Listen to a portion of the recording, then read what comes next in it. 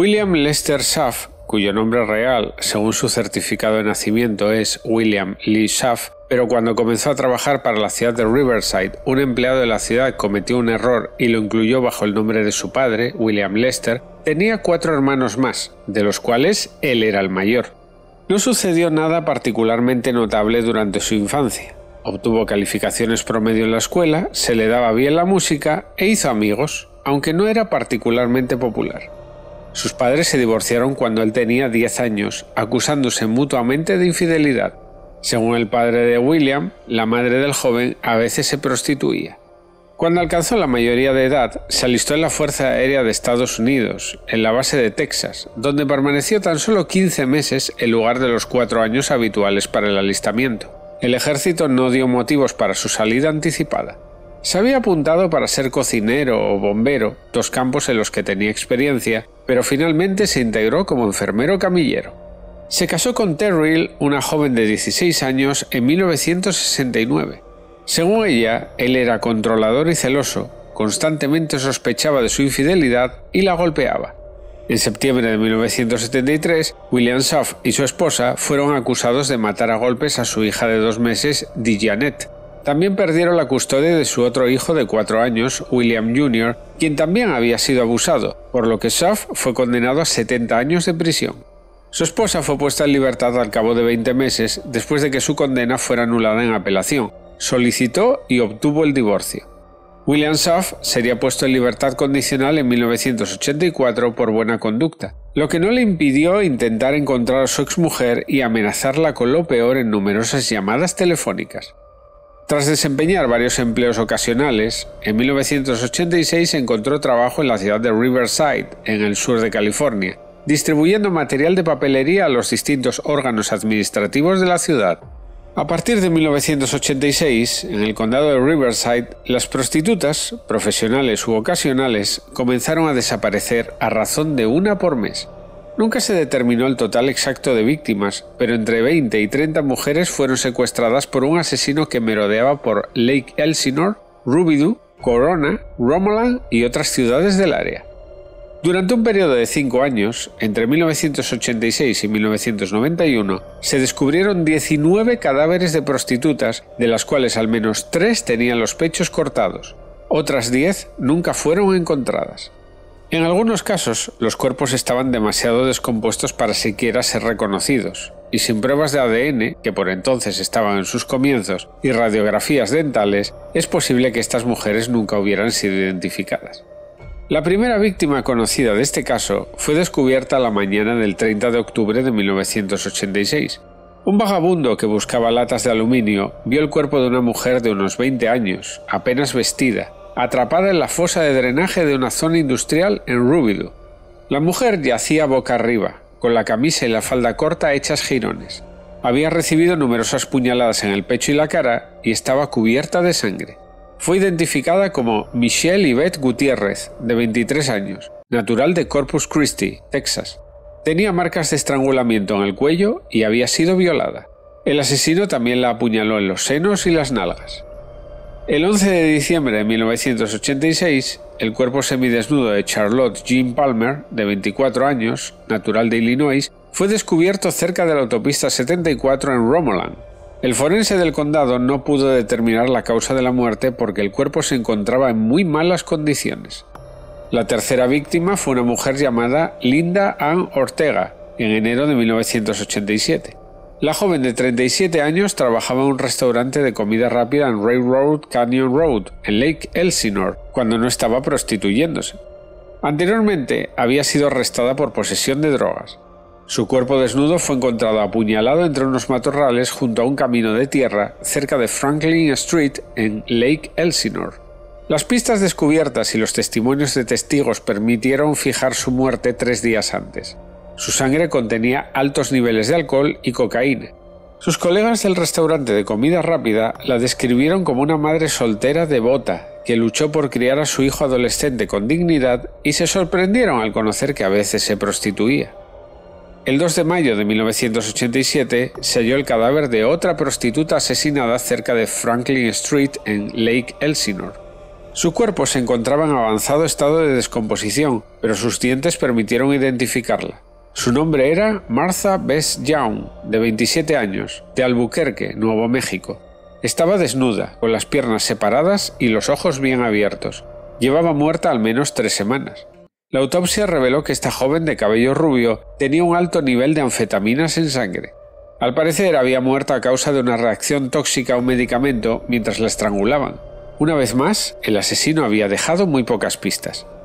Lake Elsinore es una pequeña ciudad de 15.000 habitantes y el hallazgo de estas dos prostitutas asesinadas con pocos meses de diferencia sorprendió a la policía. Fue precisamente en Lake Elsinore donde el homicida depositó los cuerpos de la mayoría de sus víctimas. El centro operativo de la unidad especial creada para encontrar al asesino se instaló en Lake Elsinore. Allí estaban asignados, entre otros, el jefe de policía de Riverside, Linford Richardson, el teniente del sheriff Al Hearn, el capitán Bill Reynolds, el teniente William Caldwell y el sheriff Quaber. Bajo su dirección, la unidad especial triplicó sus unidades hasta 14 investigadores. Desafortunadamente, la carnicería apenas estaba comenzando. Linda Mae Reith era una guapa morena de 37 años, alta, delgada y casada, pero años de drogas y alcohol la habían obligado a prostituirse. El 17 de enero de 1989, su cuerpo fue descubierto cerca del Lakeshore Drive en Lake Elsinore Beach. No había señales de lucha. La autopsia reveló que su nivel de alcohol en sangre era muy alto. El asesino enterró su cabeza en la arena y la asfixió. También la había estrangulado. El 28 de junio de 1989, el cuerpo de Kimberly Little fue descubierto en Cottonwood Canyon, Canyon Lake, al este de Lake Elsinore. La habían estrangulado. Los periódicos regionales comenzaron a interesarse por los asesinatos de estas mujeres. Una hermosa y soleada ciudad balneario estaba siendo contaminada por sádicos asesinatos sexuales. Bajo el fuego de los medios, el capitán Bill Reynolds comentó Estoy seguro de que atraparemos al asesino. Quizás sea mañana. Un simple policía podría detenerlo por un faro roto y resolver todo el caso, como el oficial que detuvo al asesino en serie Randy Croft en 1983 por exceso de velocidad y encontró el cuerpo de un hombre en el asiento del pasajero. Mientras tanto, el tiempo pasaba y continuaban apareciendo los cadáveres de mujeres, como el de Judy Lynn Angel, de 36 años, que fue descubierta el 11 de noviembre de 1989 al norte de Lake Elsinore, entre Canyon Road y Lake Street, estaba desnuda y su cráneo había sido destrozado. Angel, como la conocían en la calle, había envejecido prematuramente a causa del alcohol y las drogas. Se convirtió en prostituta para mantener a sus dos hijos después de su divorcio. Sus antecedentes penales mostraban que había sido arrestada por prostitución y posesión de drogas. La autopsia reveló que tenía cortes profundos en brazos y manos. Ella había recibido estas terribles heridas mientras intentaba defenderse de su atacante. El cuerpo de Christina Leal, de 23 años, residente en Paris, fue descubierto en Quail Bailey, al este de Lake Elsinore, el 13 de diciembre de 1989. Había sido brutalmente violada, luego estrangulada y apuñalada en el corazón. Ejercía la prostitución y tenía problemas con las drogas. El número de víctimas iba en aumento y ahora Lake Elsinore estaba asediado por reporteros de periódicos y cadenas de televisión de todo el país. El 18 de enero de 1990, los investigadores del sheriff del condado de Riverside fueron llamados a Lake Elsinore, cerca de la Interestatal 15.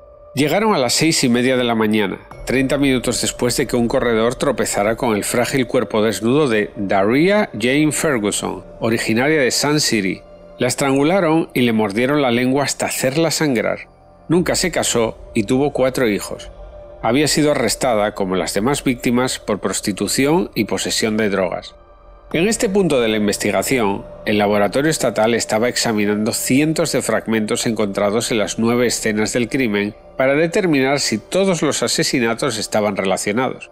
Los investigadores de la Unidad Especial de Lake Elsinore intercambiaron información con el Escuadrón de Homicidios de San Diego, que estaba investigando los homicidios de 42 prostitutas, uno por uno, sus cuerpos fueron hallados entre 1985 y 1989. El sargento Bill Walsh, de la oficina del sheriff del condado, dijo a los periodistas que no todas las víctimas fueron criminalizadas de la misma manera, pero que el método más común utilizado fue el estrangulamiento. Las similitudes entre los asesinatos llevaron a los investigadores a comparar notas con las de la policía de Seattle, que investigaba los crímenes del asesino de Green River. Otro cuerpo desnudo de mujer sería localizado el 8 de febrero por trabajadores agrícolas en un huerto de High Grove, al norte de Riverside. La habían estrangulado y apuñalado en el pecho. La joven fue identificada como Carol Lynn Miller, de 35 años, ama de casa divorciada, convertida en prostituta debido a las drogas y el alcohol. Estaba desaparecida desde finales de enero. Más tarde se supo que había abandonado su lugar habitual de trabajo porque la policía intentaba limpiar las calles de prostitutas. Pasó el tiempo y no se descubrieron más cadáveres hasta finales de año. Pero el 6 de noviembre de 1990, un hombre que instalaba equipos en una nueva fábrica se topó con un cuerpo cerca de un contenedor de basura en una zona industrial al norte de Riverside, no lejos de donde había sido encontrada Carol Miller. Cheryl Coker, de 33 años, estaba desnuda y su cadáver oculto bajo unas ramas. La habían estrangulado y su agresor le cortó el seno derecho, el cual se encontró cerca de ella. El 21 de diciembre de 1990, no lejos de donde fue descubierta Cheryl Coker, un hombre que vaciaba la basura se sorprendió al descubrir el cuerpo desnudo de Susan Melissa Sternfeld. Tenía 27 años y había sido estrangulada.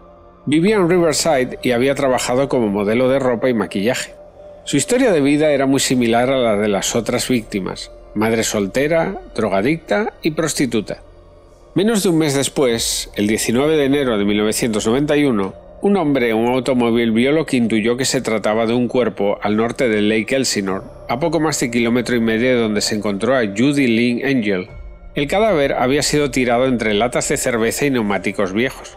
Según la patóloga forense que realizó la autopsia, Kathleen Leslie Milne, la decimotercera víctima era una mujer divorciada de 42 años que había sido golpeada varias veces en la cabeza y luego estrangulada.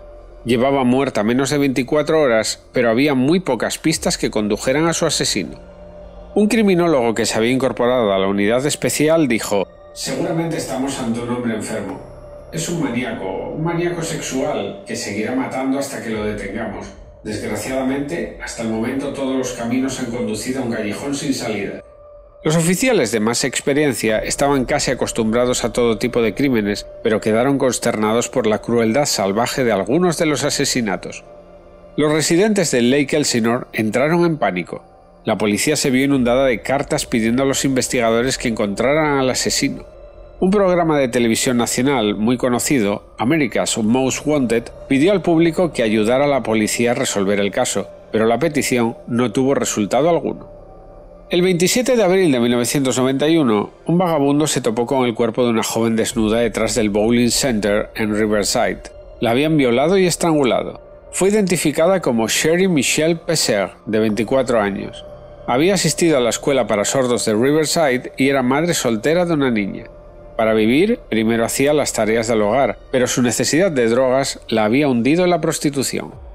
El ciclo de violencia en Lake Elsinore había alcanzado proporciones explosivas.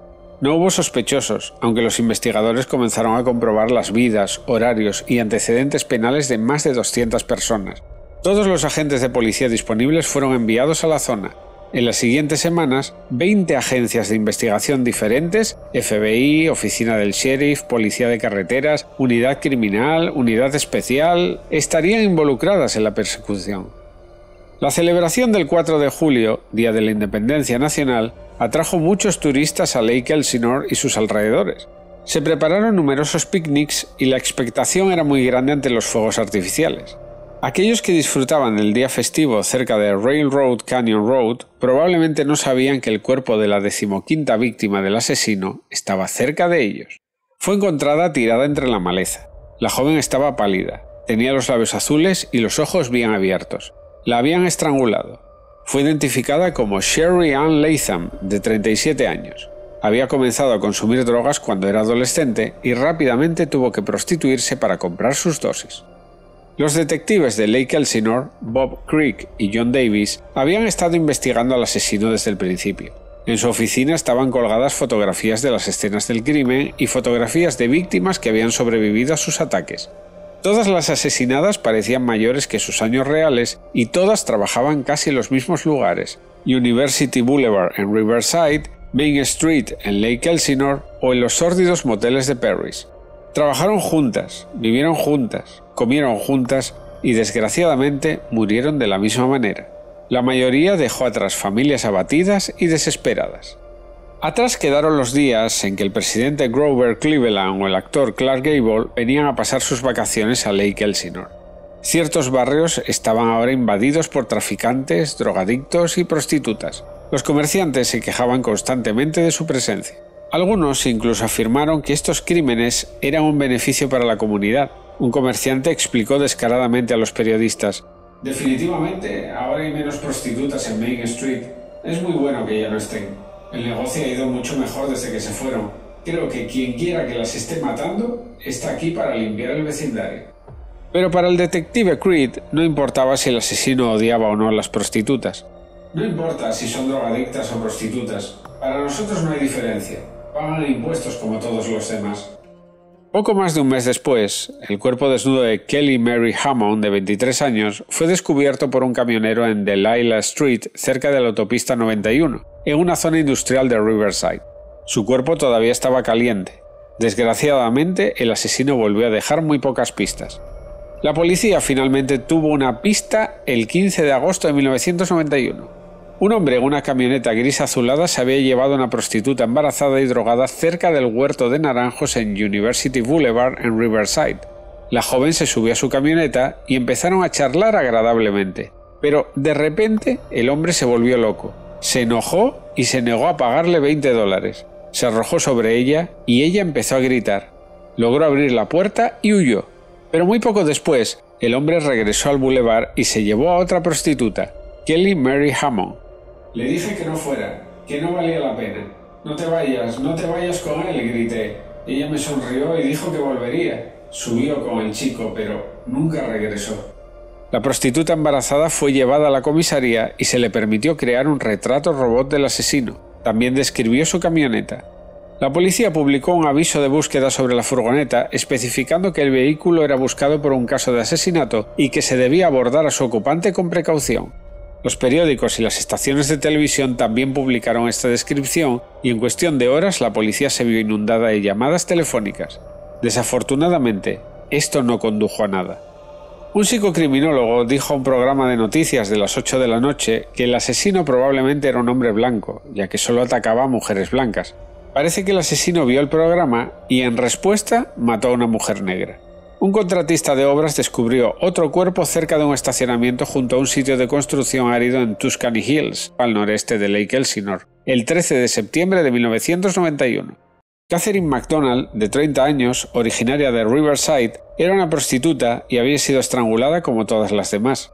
Por otro lado, ella era la primera y última víctima negra del asesino y sin duda había sufrido más. Su cuerpo estaba retorcido de dolor y sus ojos estaban muy abiertos. Minutos más tarde, el detective Henry Sabiki de la oficina del sheriff y oficiales de la unidad especial estaban en la escena del crimen y peinaban el lugar en busca de pistas. Grupos de voluntarios ayudaron a la policía a peinar las colinas hasta Canyon Lake.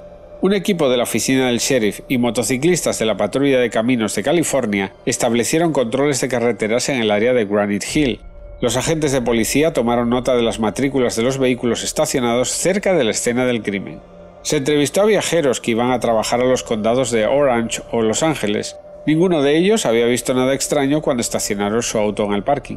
Un mes y medio después, un automovilista que se dirigía al trabajo notó un cuerpo desnudo en el pasto seco cerca de la autopista 60 al norte de Riverside. Era el 30 de octubre de 1991, el día antes de Halloween, y el quinto aniversario del descubrimiento de la primera víctima, Michelle Gutiérrez.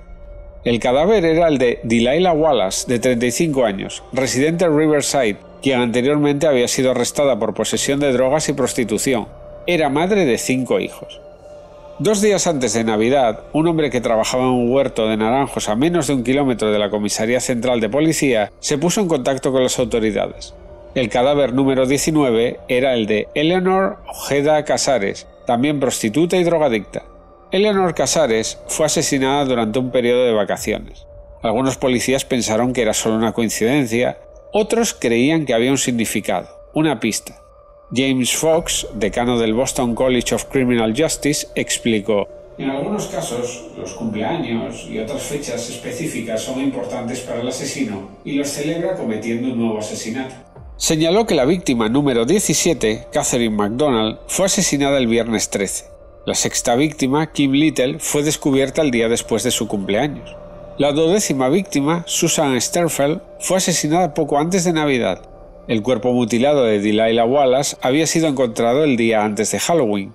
Eso podría tener algún significado o simplemente podría mostrar que el asesino prefería atacar a prostitutas durante sus periodos libres cuando estaba de vacaciones. El asunto terminó abruptamente gracias a una simple parada de tráfico. El 9 de enero de 1992, alrededor de las 9 de la noche, el oficial Frank Horta conducía por University Avenue. Vio una furgoneta gris que daba la vuelta y cruzaba una línea blanca después de dejar a una prostituta. Frank Horta recordó el cartel de búsqueda de una furgoneta gris azulada y ordenó que aparcaran el arcén. Otros dos policías llegaron al lugar al mismo tiempo y los tres hombres comprobaron la identidad del conductor, William Lester Schaff, de 42 años. Tras cometer un delito mientras conducía su vehículo, le revocaron el permiso de conducir. Su furgoneta fue confiscada y la policía lo escoltó a la comisaría para ser interrogado. Después de interrogar al sospechoso, el teniente del sheriff Al Hearn empezó a sospechar.